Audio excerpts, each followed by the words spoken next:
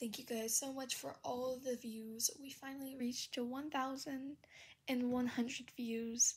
So I do this for y'all. Hope you like it. Have a nice day.